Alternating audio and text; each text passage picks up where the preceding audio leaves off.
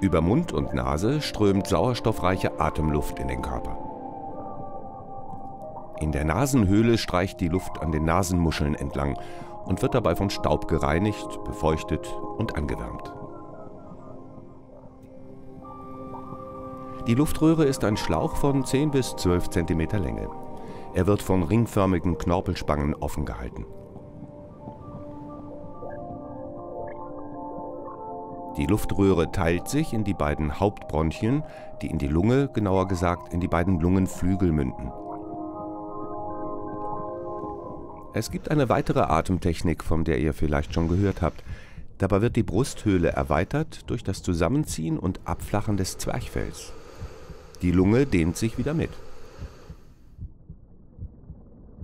Mit dieser Bauchatmung kann man mehr Luft tiefer in die Lungen einatmen. Deshalb ist die Bauchatmung die effektivere und gesündere Atemtechnik. Eine kleine Zäsur. Bis hierhin haben wir die sogenannte äußere Atmung des Körpers beschrieben. Mit der Lungenvene strömt nun das sauerstoffreiche Blut zum Herzen und von dort in den Körperblutkreislauf.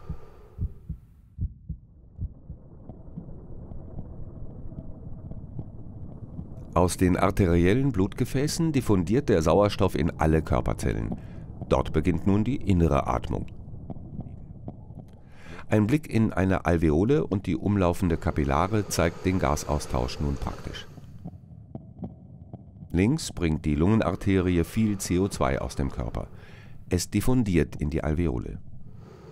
Rechts diffundiert Sauerstoff aus der Alveole in die Lungenvene und strömt von dort zunächst zum Herz und dann in den Körper.